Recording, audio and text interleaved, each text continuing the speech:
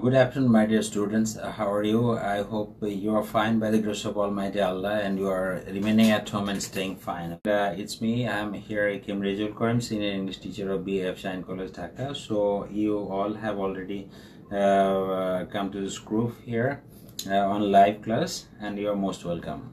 Right? Uh, I, have also seen some of you uh, here, uh, new. Sirhan for the first time perhaps. Uh, okay, and I see some of you who are frequently attending these classes. Okay, so everyone, you are most welcome. Important discussion on uh, voice change, and we have had already two classes on uh, uh, on passive, active, and passive voice. And this, those classes was very important. And uh, actually so আজকে আমরা আসলে সরাসরি চলে যাচ্ছি exception rule number six and it is about reflexive pronoun as you know reflexive pronoun আমরা জানি it's a one kind of part of speech and যেটাকে reflexive pronoun বলা হচ্ছে। সো রিফ্লেক্সিভ বলতে আসলে আমরা কি বুঝি বা রিফ্লেক্সিভ প্রোনাউনটা কি? আমরা জানি ইউজুয়ালি সেলফ অথবা সেলফ যুক্ত যেসব প্রোনাউনগুলো রয়েছে, যেমন himself herself themselves okay myself এই শব্দগুলো যখন কোনো ভার্বের পরে বসে, তখন সেটাকে বলা হয় reflexive for example I am giving one example যেমন he killed himself so this is a reflexive pronoun, example of reflexive pronoun, here he killed himself. যখন নিজে নিজেই কেউ নিজে নিজে কোনো কাজ করে থাকে, তখন সেটাকে রিফ্লেক্সিভ বলা হয়। সো এখানটায় আমরা হি কিল্ড হিমসেলফ এই সেন্টেন্সটার মধ্যে অনেকটা একটা কোয়াসি প্যাসিভের যে রুলসটা পড়েছি অলমোস্ট সেটা অনেকটা কাছাকাছি এটা। কারণ আমরা কোয়াসি প্যাসিভে দেখেছি ম্যাঙ্গোস টেস্টেড সাওয়ার এবং সেটাকে প্যাসিভ করতে গেলে আমাদের ম্যাঙ্গোস কথাটা পরিবর্তিত হয়নি। সেখানে রয়ে গেছে। ভার্ভটাকে আমার চেঞ্জ করতে হবে right we have to change the verb verb যেটা অ্যাক্টিভে আছে, সেই অ্যাক্টিভ ভার্ভটাকে আমাদের প্যাসিভে নিয়ে যেতে হবে। That is the most important thing হ্যাঁ ওয়ালাইকুম আসসালাম, ফাতিন, অরিন অনেকে আসছো, সোহাগ, সুলতানা, নাদিরা থ্যাংক ইউ বারিক, হক, আরতি, ওয়ালাইকুম আসসালাম, বাবা। আচ্ছা থ্যাংক ইউ ইশিক, ওয়ালাইকুম আসসালাম ফাইন বাবা আবার ইউ সিরহান, ওয়ালাইকুম আসসালাম, বাবা, কেমন আছো? মাইমুনা, সাইমা থ্যাংক ইউ মা ভালো আছি I'm fine by the grace of almighty Allah কি ওয়ালাইকুম আসসালাম, বাবা রিনাত ওয়ালাইকুম আসসালাম। আর্তিকা বন্নি, ওয়ালাইকুম আসসালাম। তাইবা, ওয়ালাইকুম আসসালাম। তারপরে রুবায়ত ওয়ালাইকুম আসসালাম গুড আফটারনুন আইভা ওয়ালাইকুম আসসালাম। Thank you so thank you for participating in the class So he killed himself. Uh, can you please? Uh, he was killed. Oh, okay, good. I know we have already got so many answers by this time. That's great. Uh, he was killed by himself is the right answer as you have written already. Thank you very much. A, a lot of answers I have seen. Nabila লিখেছো thank you মা সিরহান লিখে ফেলেছো ফাতিন মুর্শিদা লিখেছো Angela Riva লিখেছো রাকিব রিনাত লিখেছো আকিব আইদিদ লিখেছো and so on okay and Ishik লিখেছো thank you বাবা থ্যাংক ইউ এভরিওয়ান সবাইকে ধন্যবাদ যে সবাই আসলে thank you so much that you have return the answer that's great good okay so if you can do that and perhaps you know the rules that's why you completed you have uh, correctly written the answer now if i say i know myself you have to write down the answer so this time will you make any mistake or not i want to see okay i know myself will you please write down the answer here uh, in the comment box. You will uh, write down the answer of i know myself. So you have to be uh, a, a rule is same same rule because in this sentence we are also using a reflexive pronoun but the rule is same. But in that case you have to be very careful about the use of one thing that is uh, that is the use of by because uh, Mm, because I have already told you that when to use buy and when not. Yeah, you know, I have also given you a chart, the uh, chart of the sum of the verbs, after which we usually do not use, uh, we usually do not use buy. We usually use different prepositions like to, at, with. Okay. So, Ethernet, uh, there will be one challenge for you, and I think you all will write down soon uh, correctly. Oh my goodness, that's everyone. That's great. I'm known to myself. Uh, Atrika, wow, that's great, wonderful. I'm known by myself, Naishik, I'm sorry. Yeah, that's the right answer. Jara known er pore to likhacho. That's wonderful answer.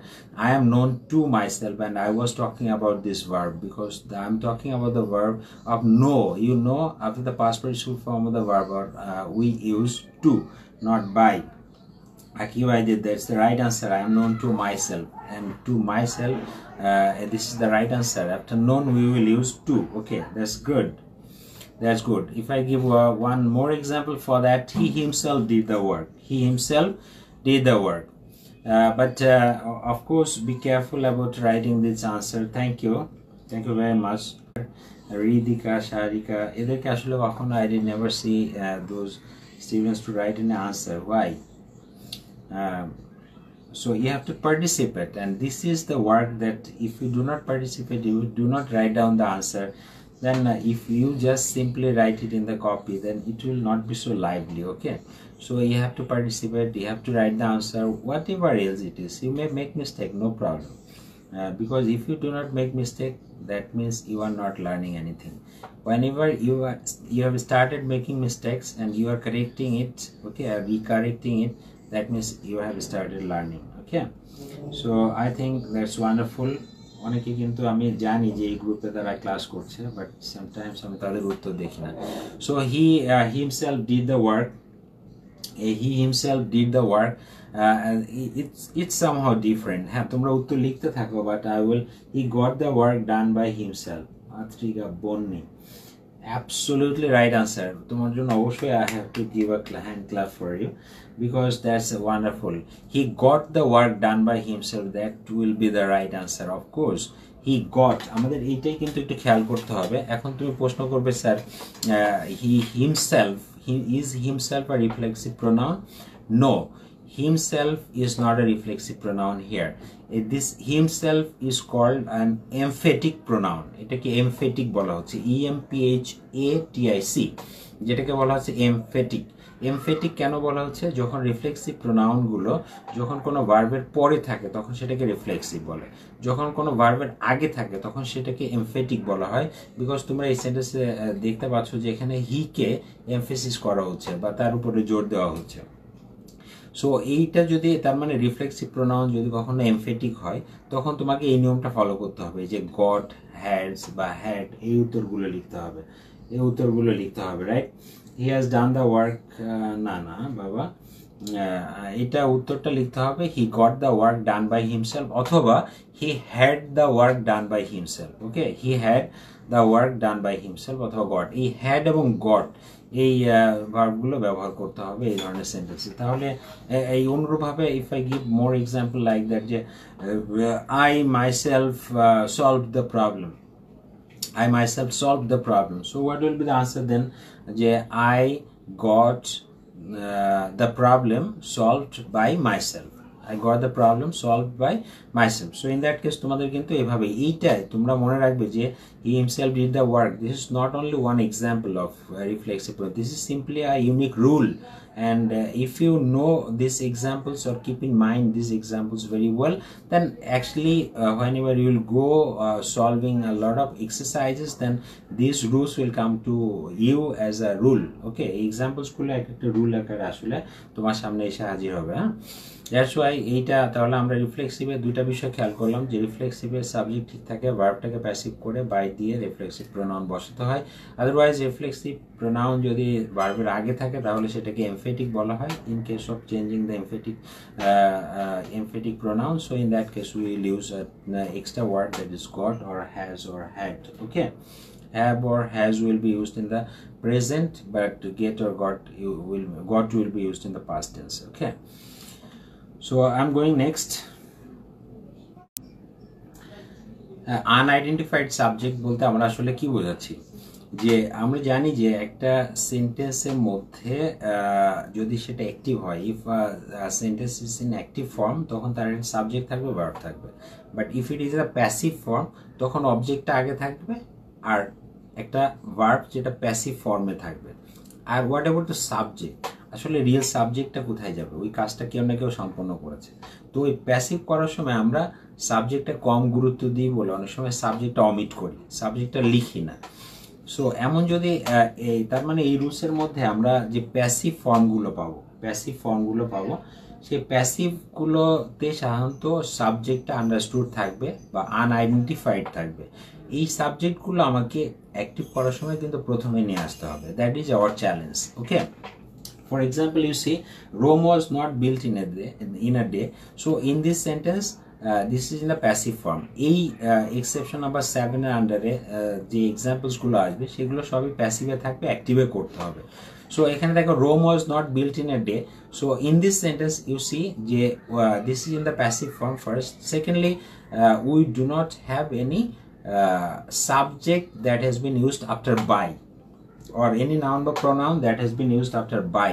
By এর পরে কোনো নাম বা pronoun নেই, যে তুমি এটাকে active করতে হলো বাই এর পর থেকে সামনে নিয়ে আসবে। সো সেই ধরনের কোনো অপশন নেই। In that case you have to think about the subject which may be the subject of this verb এই ধরনের uh, বার্বের কি সাবজেক্ট হতে পারে সেটা তোমাকে গেস করতে হবে।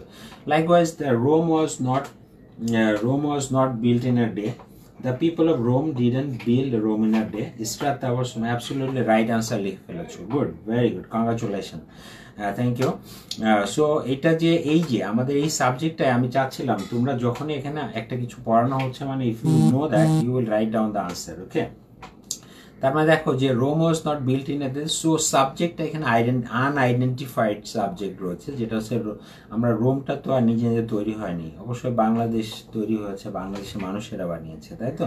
সো এখানে, বা রোমের যারা অধিবাসী, তাদেরকে দ্য পিপল অফ রোম বলা হয়, অথবা বাংলাদেশের মানুষদের যেমন বাংলাদেশি বলা হয়, আর পিপল অফ রোম রোমদের রোমান্স বলা হয়।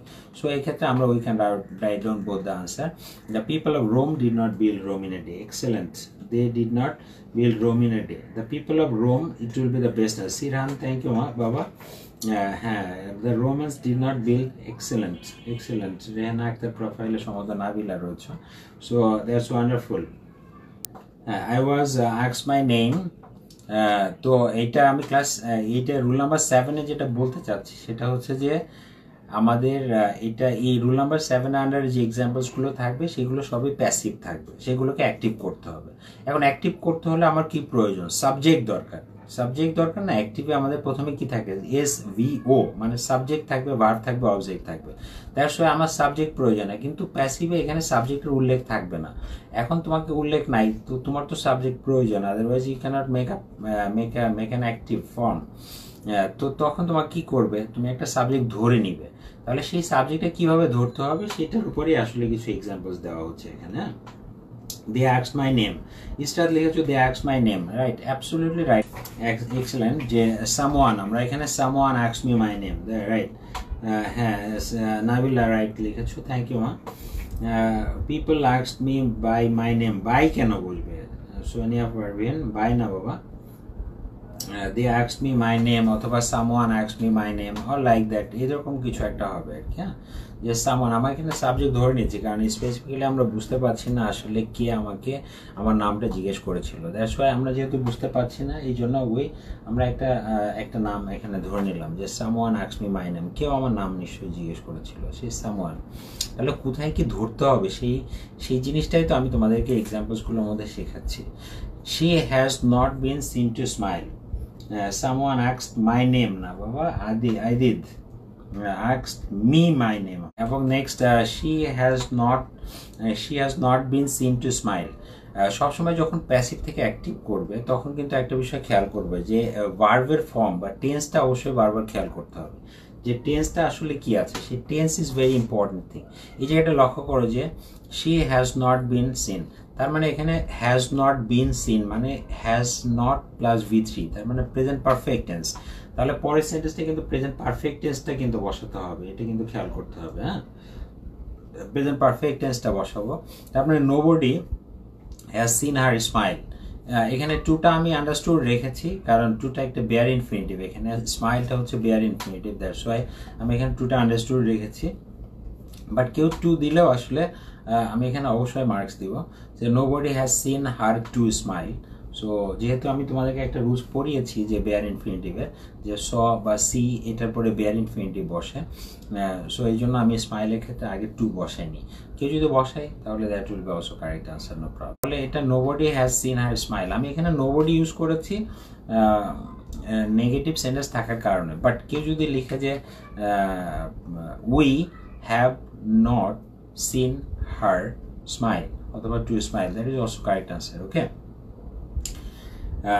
তো এটা আমরা গেল, তারপরে আমরা নেক্সট এখন দেখো আরও কিছু এই ধরনের আনআইডেন্টিফাইড সাবজেক্ট রয়েছে। The tree was uprooted you see the tree was uprooted so you you find out the subject তাহলে সাবজেক্টটা এখানে ফাইন্ড আউট করো সর্ট আউট করো সাবজেক্ট কী হবে? The tree was uprooted so in this sentence we see ট্রিটাকে একটা বড় গাছ, যার একটা ছবিও দিয়ে দিয়েছি আমি। সো এই সি এই গাছটা আসলে তো কোনো মানুষের পক্ষে আপলোড করা সম্ভব না। আপরুট মানে মূলোৎপাটন মূল সহ তুলে ফেলা। তাহলে এটা কি কোনো সাধারণ মানুষের পক্ষে এটা তোলা সম্ভব? তো সেক্ষেত্রে আমরা অবশ্যই এটা সাবজেক্ট হিসাবে কি ধরে নিতে পারি? সাবজেক্ট হিসাবে এটা কি ধরতে পারি? Someone uprooted the tree Israt বাবা আই এম সরি সামওয়ান আমি সেটাই বলছিলাম। কারোর একার পক্ষে এই গাছটাকে তুলে ফেলা সম্ভব? তাহলে তো হ্যাঁ হয়তো সম্ভব। সেক্ষেত্রে সুপার হিউম্যান হতে হবে আর কি হ্যাঁ? Like spider strong the tree এটা শারিকা রেখেছো দ্যাটস গ্রেট ওয়ান্ডারফুল উত্তর। রাইট তোমার উত্তর ঠিক হচ্ছে absolutely the cyclone the tree right I did god কি এসে আপলোড করে নাকি কখনো? সিরহান স্ট্রং আপটুডেট থ্রি ভুলে গেছি হ্যাঁ? আচ্ছা okay that's wonderful tornado uprooted was up tornado R three was কেন বসালেন ওয়াজ কেন? টর্নেডো ঠিক আছে টর্নেডো আপলোডেড দ্য ট্রি কিন্তু ওয়াজ না। ওয়াজ দিলে তো আবার প্যাসিভ হয়ে গেল। দেখো, আমি অ্যাক্টিভ ওয়াজে কি কখনো ওয়াজ ওয়ারের পরে পাস পার্টিসিপল ফর্ম বসে, সেটা কিন্তু বসে না। তাহলে সবসময় আমি বলছি যে ভার্বটা কিন্তু খেয়াল করতে হবে বেশি। তার মানে হ্যাঁ যারা লিখেছ storm cyclone okay and so on everything is correct okay সব কটা রাইট হচ্ছে আচ্ছা টর্নেডো সাইক্লোন স্টর্ম যা লিখেছো সবগুলো উত্তরে ঠিক আছে। I was compelled to do it here you see I was compel to do it এখন এই সেন্টেন্সটার দিকে একটু লক্ষ্য করো। আই ওয়াজ কম্পেল আমাকে এই কাজটা করতে বাধ্য করা হয়েছিল। এখন প্রশ্ন হচ্ছে যে কি আমাকে বাধ্য করেছিল এই কাজটা করতে? So in that case if I give one example for that যে why we are staying at home আমরা এখন বাসায় কেন আছি? আমরা হয়তো বলবে, স্যার করোনা কোভিড নাইন্টিন বা করোনা ভাইরাস এই ভয়ে আছি। Actually not only for that আমাদের শুধু খবর একদিন দেখাতো যে, এই করোনা ভাইরাস হয়েছে, তোমরা বাইরে এসো না। আর কিছু যদি কেউ না বলতো, তাহলে কিন্তু মানুষ শুনতো না। তাই তো? কারণ এখানে দেখো যে আমাদেরকে ঘরে রাখার জন্য কিন্তু আবার আইন, প্রশাসন, তারপরে সরকার সব কিছু সবাই কিন্তু আসলে ব্যবস্থা নিচ্ছে যাতে করে আমরা বাইরে যেতে না পারি। তাহলে শুধুমাত্র করোনা ভাইরাস না? Corona virus government police army right and এই যে সবাই এনফোর্স ল এনফোর্সিং এজেন্সি যারা রয়েছে সো তারা সবাই কিন্তু আসলে কি করছে? আমাদেরকে এমফোসাইজ করছে বা প্রেশার করছে যে আমরা আসলে বাইরে যাব না।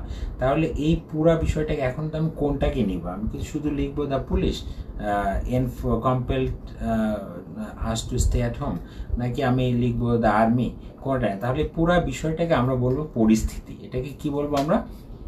পরিস্থিতি রাইট পরিস্থিতির ইংরেজি হচ্ছে যে সার্কামাস্টেন্সেস পরিস্থিতিকে বলা হচ্ছে সার্কামাস্টেন্সেস বা প্রেক্ষিত বা পরিস্থিতি রাইট সো এই ক্ষেত্রে দ্য বেস্ট আনসার আমি জানি তোমরা অনেকে লেখার চেষ্টা করছ বাট অফকোর্স সেটা হচ্ছে না। এই ক্ষেত্রে অবশ্যই এই উত্তরটা লিখতে হবে সার্কামাস্টেন্সেস সার্কামাস্টেন্সেস মানে অবস্থা, প্রেক্ষিত বা পরিবেশ। এটা কি করছে? Compel me to do it মানে আমাকে এটা করতে বাধ্য করছে। তাহলে নিশ্চয়ই এটা বুঝতে পারছ।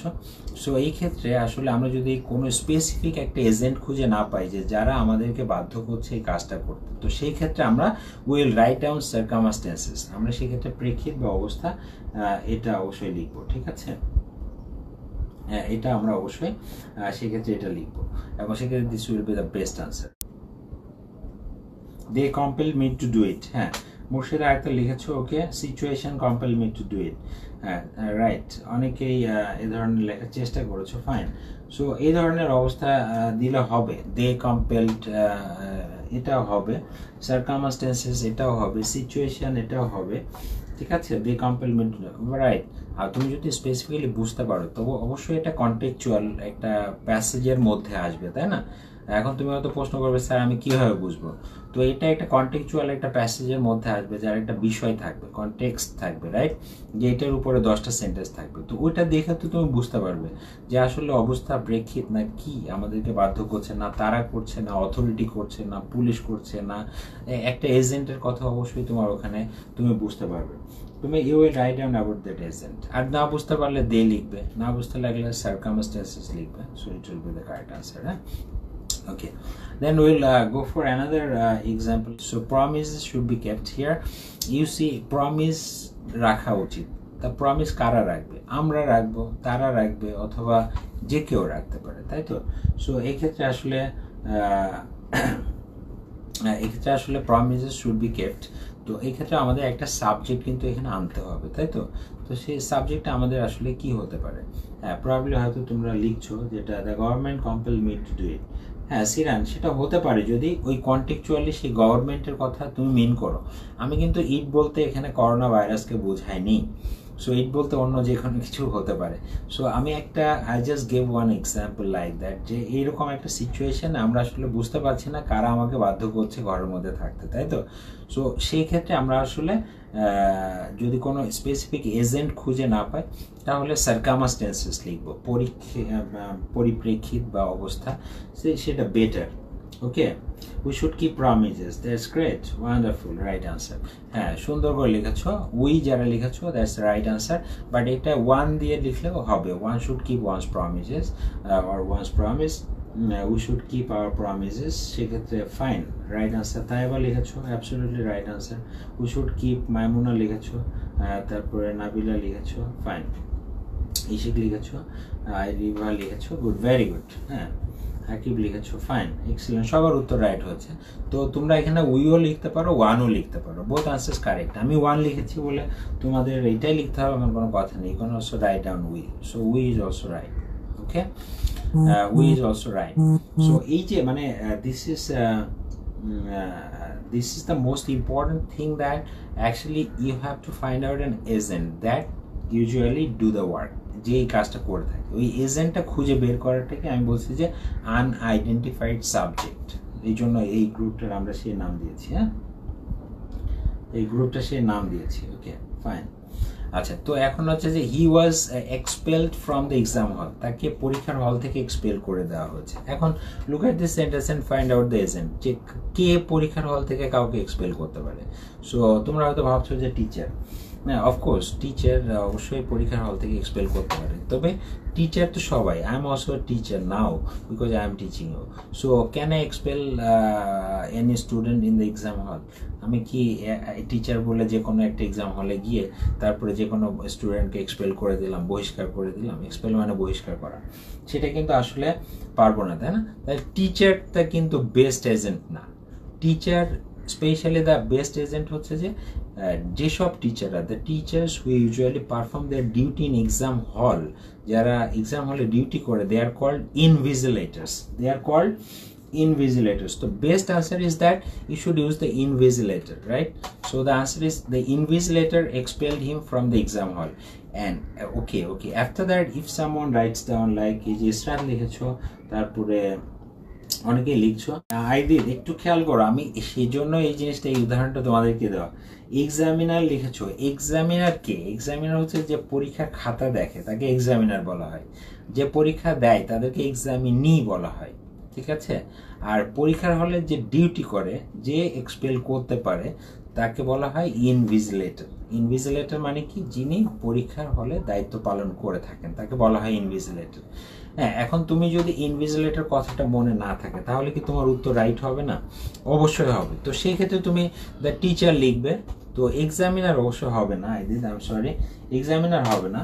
তো সেক্ষেত্রে অবশ্যই you can write down the teacher লিখতে পারো, অথবা দ্য ইনভিজিলেটর দ্য ইনভিজিলেটর দিবে, এটা best answer the magistrate yes তা হ্যাঁ ম্যাজিস্ট্রেট হতে পারে। The magistrate expelled him from the exam of course হতে পারে। কে লিখেছো? Faim Shakil. Arati the examiner expel বাবা এক্সামিনার না Arati I am sorry examiner হচ্ছে যিনি বাসায় বসে পরীক্ষা খাতা দেখে। পরীক্ষা খাতা দেখা, দেখে যে সে কি পরীক্ষা সে কি পরীক্ষার হল থেকে কাউকে এক্সপেল করতে পারে? এখানে দুইটা আনসার বেস্ট একটা হচ্ছে যে ইনভিজিলেটর আর হচ্ছে দ্য ম্যাজিস্ট্রেট এটা বেস্ট আনসার হবে হ্যাঁ? এক্সামিনার না বাবা আই এম সরি আচ্ছা I am going next okay So here you see exception number 8 uh, this is infinitive or models infinitive অথবা models আমরা এই এই যাচ্ছি exception number 8 so the judge ordered the prisoner to uh, to hang আচ্ছা তাহলে আমরা দেখতে পাচ্ছি এখানটায় ইনফিনিটি অথবা মডেলস আমরা already we have known about the infinity because to plus V one this form of verb is called infinitive okay and we also we have also come to know about bare infinitive and what is bare infinitive bare infinitive means uh, where two is understood infinitive when two is understood is called uh, bare infinitive okay তাহলে আমরা এখানে modals modals we have already gone through a list of modals যে can could memory shall should will would must so এর এইগুলো আর কি models তাহলে infinitive models এই দুটাকে আমরা একসাথে করে কি শিখতে পারি the prisoner was ordered to hang by the by the judge আচ্ছা ইশিক লিখেছো সো একটু খেয়াল করো যে এই সেন্টেন্সটার মধ্যে কিন্তু একটু ঝামেলা আছে। সেটা হচ্ছে দ্য জাজ অর্ডার দ্য প্রিজনার আসলে দেখো জাজ কিন্তু প্রিজনারকে অর্ডার করেছে। এই সেন্টেন্সের অর্থ যদি আমরা এভাবে করি, তাহলে কিন্তু এটা মিসমেন্ট হবে। কারণ হচ্ছে যে, আমি বলছি যে জাজ প্রিজনারকে অর্ডার করেছিল ফাঁসি দিতে। কিন্তু জাজ তো প্রিজনার মানে কয়েদি মানে প্রিজনারকে ফাঁসি দিতে বলেছিল, কিন্তু জাজ কাকে বলেছিল, কাকে অর্ডার করেছিল, অন্য কাউকে, ঠিক আছে? যার জন্য কিন্তু তার কথা এখানে উল্লেখ নেই। তার মানে এই সেন্টেন্সটাকে চিন্তা করতে হবে দ্য জাজ অর্ডার দ্যাট হ্যাঁ যে the prisoner should be hanged তাহলে এটাকে আমরা প্যাসিভ করতে হলে it was ordered by the জাজ that the prisoner should be hanged তোমরা ঠিক এই ধরনের একটা এই ধরনের একটা আমরা যদি বলি যে প্রিজনার ওয়াজ অর্ডার্ড মানে প্রিজনারকে আদেশ করা হয়েছিল মানে ফাঁসি দেওয়ার জন্য। মানে এখানে বুঝতে পারছি যে প্রিজনারকে ফাঁসি দেওয়া হচ্ছে না। প্রিজনারকে বলা হয়েছিল অন্য কাউকে ফাঁসি দেওয়ার জন্য। তোমরা যেভাবে লিখছো সেটার অর্থ এমনটি হবে হ্যাঁ? আচ্ছা তো আমরা এই জন্য এটা লিখব যে ইট ওয়াজ এটা অনেকটা he decided to sell the house এরকম একটা ইনফিনিটিভ করিয়েছিলাম তোমাদের। He decided to sell the house মানে it was decided the by him that the house should be sold অনেকটা একই রকম, সেই উদাহরণটা এখানে। তাহলে it was ordered by the জাজ that the prisoner should be the prisoner should be hanged ঠিক আছে? The prisoner should be hanged আমরা এভাবে এই আনসারটা লিখব okay I hope you have understood because এই জিনিসটা তুমি তাহলে ওই he decided to sell the house মানে ওইখানটা ওটার সাথে ম্যাচ করো। তাহলে তোমার মনে থাকবে। মনে আছে হি decided to sell the house এটা কি হবে? ওই যে it was decided by him that the house should be sold ঠিক একইভাবে চিন্তা করো? ইট ওয়াজ অর্ডার্ড বাই দ্য জাজ that the prisoner should be hanged okay the জাজ order that the prisoner should B Hang না বাবা। আরেকটা জিনিস খেয়াল করো আই এম সরি এখানে I did B careful about this spelling because hang শব্দটা একটু খেয়াল করো। Hang hung hung R hang hanged hanged be careful of it যে হ্যাং হাং হাং যখন হবে H U N G H U N G তখন সেটা কোনো কিছু ঝুলিয়ে রাখা হবে। আর ওয়েন এভার যখন বলা হচ্ছে যে হ্যাং হ্যাংড হ্যাংড তখন কিন্তু ফাঁসিতে ঝুলানো বোঝাবে। দ্যাটস ওয়াই তুমি এখানে অবশ্যই হাং কথা লিখতে পারবে না। এখানে অবশ্যই হ্যাংড হবে। কি হবে? Hanged H A N G E D so be careful about that তাহলে হ্যাং হাং হাং মানে কোনো কিছু ঝুলিয়ে রাখা। আর হ্যাং হ্যাংড হ্যাংড কোনো কিছু ফাঁসিতে, কাউকে ফাঁসিতে ঝুলানো। So be careful about the spelling okay so এই জন্য অবশ্যই এখানে you have to write down hanged the জাজ অর্ডার দ্যাট না লিখে আমরা লিখব যে it was ordered by the জাজ দ্যাট এটাও প্যাসিভ করে দিলাম। It was ordered by the জাজ that the prisoner should be hanged not hang we must listen to our teachers we must listen to we must listen to our teachers এটা পৃথিবীর সবচেয়ে সহজ একটা ওয়াচেন যেটা দেখে হয়তো অনেক কঠিন মনে হতে পারে, কিন্তু আসলে কিছু নেই এখানে। দেখো উই হচ্ছে সাবজেক্ট মাস্ট হচ্ছে একটা মডেল অক্সিলারি ভার্ব লিসন হচ্ছে মূল ভার্ব তারপরে একটা টু আছে, যেটা প্রিপোজিশনাল ফ্রেজের জন্য এখানে টুটা আনা হয়েছে।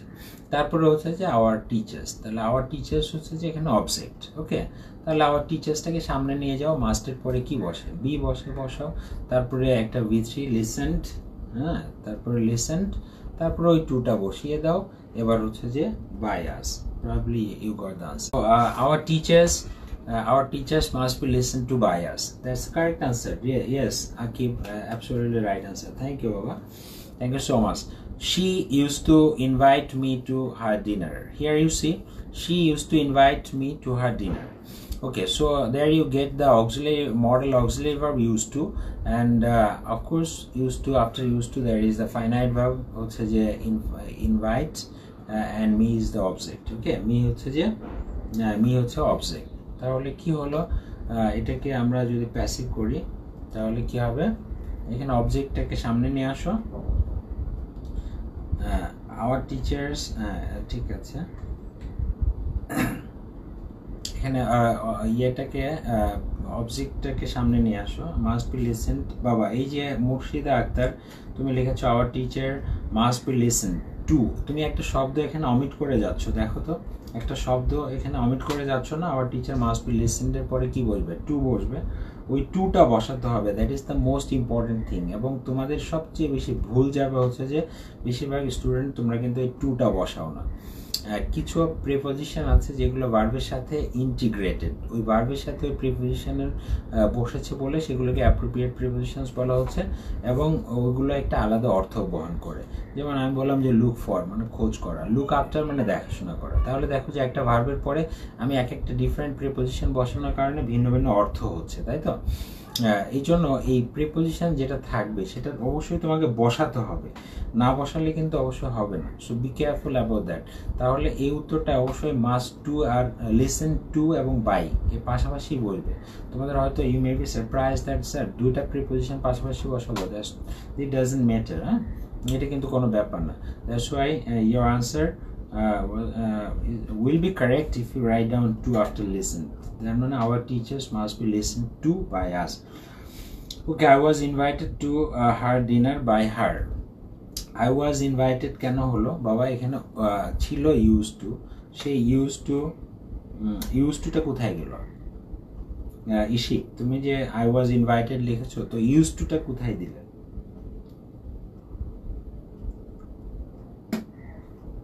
used to I was used to বন্নি লিখেছো I was used to be invited by her to her dinner absolutely right answer uh, right I was used to be invited by her to her dinner that's the correct answer good uh, thank you Bonni congratulations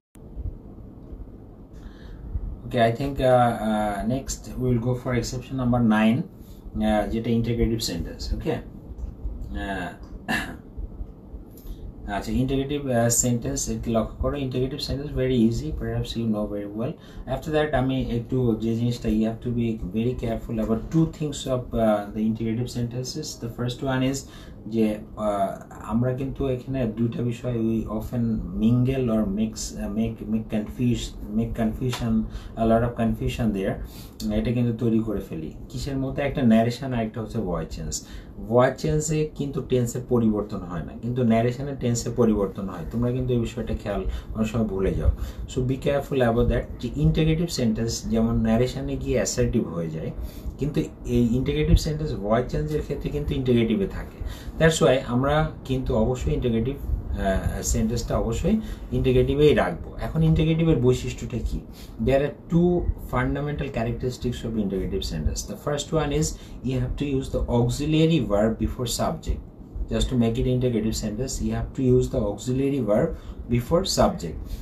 And the second thing most important thing is that you have to use a question mark after the, at the end of the sentence. Sentence শেষে তোমাকে একটা সেন্টেন্সের শেষে একটা question mark বসাতে হবে। ওকে আরও থি no problem আচ্ছা তাহলে সেন্টেন্সের শেষে একটা কোয়েশ্চেন মার্ক বসাতে হবে। তাহলে এই দুইটা বিষয় তোমাকে খেয়াল করতে হবে।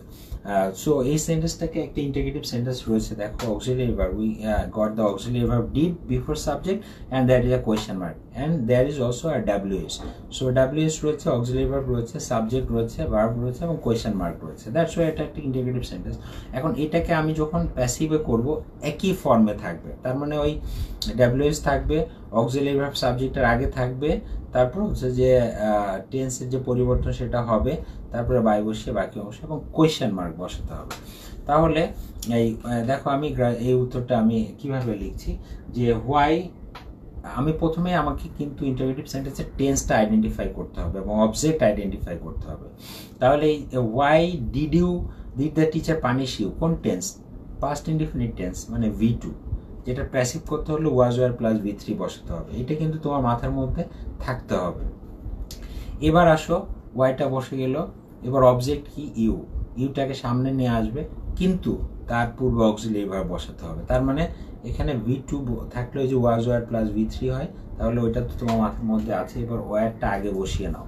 তাহলে why were you punished by the teacher question mark why were you punished by the teacher question mark হ্যাঁ Nabila excellent why were you punished by the teacher হ্যাঁ Ismam absolutely right answer Iriva লিখেছো why were you punished by the teacher excellent excellent হ্যাঁ। Roll number eight five Shakil. Thank you বাবা no problem so why was you এইটা কি লিখেছো বারিক হক। লিখেছো Y was you না বাবা ওয়ার ইউ হবে। ওয়াজ কেন লিখেছো ইউ এর সাথে কি ওয়াজ বসে? না ইউ এর সাথে ওয়ার বসবে? তাহলে why were you punished by the teacher? Okay? That's why I, I hope you have got the right answer. Then we will go for who gave you this book? Question mark okay? So আমরা জানি যে হু থাকলে কি হয়? হু থাকলে by হুম হবে? হু থাকলে কি হয়? By whom. তাহলে বাই হুম বসাও অক্সিলারি ভার্ব আনো অবজেক্ট আনো পাস্ট পার্টিসিপল ফর্ম বাকি অংশ বসিয়ে কোয়েশ্চেন মার্ক তাহলে বাই হুম বসাও তারপরে এটা ভি টু আছে তার মানে ওয়াজ বা ওয়ার অক্সিলারি ভার্ব ওয়ার বসবে। তারপরে you given this book you say was the medicine taken by you? Very simple uh, and very easiest one perhaps so এখানে আমাদের অক্সিলারি ভার্ব আমি কিন্তু ওইগুলো একটু একটু বেছে বেছে দিয়েছি যাতে করে যেগুলো তোমাদেরকে একটু সমস্যার সৃষ্টি করতে পারে। Was the medicine taken by you who knows the ways of nature you see to whom are the ways of nature known to whom এখানে হু থাকলে আসলে বাই হুম আমরা বসাই, কিন্তু এখানে টু বসাচ্ছি বিকজ অফ নো এই নো ভার্বের জন্য আমরা এখানে টু বসাতে হবে আর কি হ্যাঁ? টু হুম তাহলে তোমরা এটাও মনে রাখো ইউজুয়ালি হু থাকলে বাই হুম হয়, কিন্তু নো থাকলে টু হুম হয়। ঠিক আছে? এটা একটা রুলস মনে করো। তাহলে সেভাবে টু হোম দিয়ে এই আনসারটা আমরা লিখতে পারি খুব সহজে was the medicine taken by you excellent হ্যাঁ রাইট আনসার ঠিক লিখেছো তোমরা। উই আর গোয়িং নেক্সট আমরা পরেটাই যাচ্ছি। Uh, you see this is the last one and uh, this is the easiest one সর্বশেষ all's well that ends well that's why সবচেয়ে সহজটা আসলে সবার শেষে দিয়েছি যাতে করে তোমরা তোমাদের মনটা খুব ভালো হয় হ্যাঁ so you uh, look at this sentence this is imperative sentence as you know what is imperative sentence uh, the verb that expresses কি uh, order advice request forward তা তো এগুলো যেখানে বোঝে সেটা হচ্ছে যে imperative sentence and usually imperative sentence starts with verb and all let আমরা সাধারণত ভার্ব দিয়ে শুরু হয় অথবা লেট দিয়ে শুরু হয়। হ্যাঁ ভার্ব দিয়ে শুরু হয় অথবা লেট দিয়ে শুরু হয়। So take care of your health this is an imperative sentence because this sentence starts with verb so এক্ষেত্রে ভার্ব দিয়ে যদি শুরু হয়, তাহলে সেক্ষেত্রে একটাই মাত্র রুলস একটা যা সিম্পলি আর সিঙ্গেল রুল এটা শুধু মনে রাখবে। লেট বসাতে হবে অবজেক্ট বসাতে হবে তারপরে বি বসাতে হবে এবং past participle form of the verb বসাতে হবে। And that's that's right that's all হ্যাঁ? যে লেট বসাতে হবে অবজেক্ট বসাতে হবে। প্রথমে লেট বসিয়ে নাও, তারপর অবজেক্ট কি আছে? এখানে take care of your health তোমার কি কেয়ার করবে? ইয়োর হেলথ তার মানে your health is the object তাহলে লেট ইয়োর হেলথ তারপরে একটা বি বসাতে হবে। বি বসাও লেট ইয়োর হেলথ বি তারপরে টেকের past participle taken care of তার মানে you got the answer like that তোমরা হয়তো এই উত্তরে লিখছো। যে let your health be taken care of let your health be taken let the object right be এবং B three Sheeran absolutely right হ্যাঁ ঠিক বলেছ। সে, সেটা আমি এখানে লিখে দিচ্ছি লেট অবজেক্ট বি এবং বি থ্রি বলবে। Let your health be taken care of that's wonderful okay? And if uh, i give one more example please come here or kindly come here. So please or kindly thakle usually we come to know that that is an imperative sentence because because it refers to request. Okay? So it uh, it means request তো এটা আসলে request বোঝাবে that's why এটা আমাদের imperative sentence and in this type of sentence if there is please or kindly তখন আমাদের এটা একটু চেঞ্জ করতে হবে। রিকোয়েস্টেড লিখতে হবে ইউ আর রিকোয়েস্টেড এটা হবে you are requested to come here you are requested to come here okay, please come here, kindly come here please do the work, kindly do the work in that case, you are requested to এই কথাটা এখানে কিন্তু late দিয়ে হবে না। কেন বলো তো এখানে লেট দিয়ে হবে না? কারণ হচ্ছে এখানে কোনো অবজেক্ট নেই। এই সেন্টেন্সগুলোতে কোনো অবজেক্ট নেই। দেখো প্লিজ কাম হিয়ার হিয়ার কি অবজেক্ট না হিয়ার একটা অ্যাডভার্ব সো এখানে কিন্তু অবজেক্ট নেই। তার মানে if an imperative sentence doesn't have an object তখন আমরা অথবা if there is please or kindly and there is no object so in that case আমরা ইউ আর রিকোয়েস্টেড টু এই কথাটা বসাবো। You are requested to okay so তাহলে আমরা এটা বসালাম you are requested to come here okay please or kindly থাকলে you are requested to আমরা এটা বসাচ্ছি। And then do not pluck me a flower so do not থাকলে you have to use let not you have to use let not okay so do not pluck me a flower that means let not a flower be plucked ফর্মে ও আচ্ছা এখানে আরেকটা বিষয় খেয়াল করতে হবে, এই লাস্ট সেন্টেন্সে এখানে আরেকটা বিষয়, সেটা হচ্ছে যে দ্যাট ইজ এ প্রিপোজিশন এখানে একটা আন্ডারস্টুড প্রিপোজিশন আছে। সেটা হচ্ছে যে don't pluck for me a flower don't pluck for me a flower অথবা don't pluck a flower for me তাহলে এই আমরা এই পার্সোনাল অবজেক্টটা যদি পরে বসাই, তাহলে এটা আর ক্লিয়ার হয়। তাহলে এখানে একটা ফর আন্ডারস্টুড রয়েছে, যেটা তোমাকে অবশ্যই বসিয়ে দিতে হবে হ্যাঁ? কেউ কি লিখবে? লাস্টের আনসারটা don't pluck me a flower so এই ক্ষেত্রে the answer will be let not a flower be plucked for me. Be very careful about the rules uh, as uh, the exceptional rules of voyagers because this type of uh, rules uh, or the exercises or examples may come to your exam also. I think you have to be very alert about that. So I think uh, you will have to appear in the test in the next class. That's why you will go through all the rules together uh, very well. If you have any question, you will call me or if you will send me the message or you will write down in the comment box. I will try to give you answer that. If after that uh, i don't know if, uh, whether you have understood all the rules or not but if you have any confusion or if you have any kind of problem in understanding any rule you can call me you can uh, um, uh, tell me or ask me for any kind of query. And until then uh, remain at home and be safe and uh, pray for all of us. Thank you